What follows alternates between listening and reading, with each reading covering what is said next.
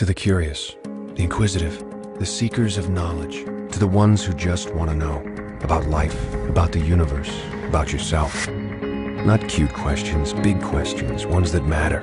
To the rebels, the artists, the free thinkers, and the innovators who care less about labels and more about truth, who believe nonconformity is more than a bumper sticker, that knowledge is more than words on a page. You're young, you're old, powerful beyond measure, and the fuel of that power is not magic or mysticism, but knowledge. The things you see, the things you feel, the things you know to be true. Sure, some will doubt you. Let them. Dare to think for yourself, to look for yourself, to make up your own mind.